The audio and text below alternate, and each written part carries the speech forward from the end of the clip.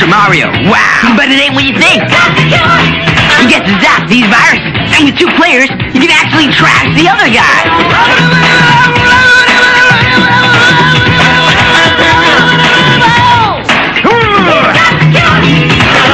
Remember, kids, try this at home. Hey, you can get it for Game Boy, too.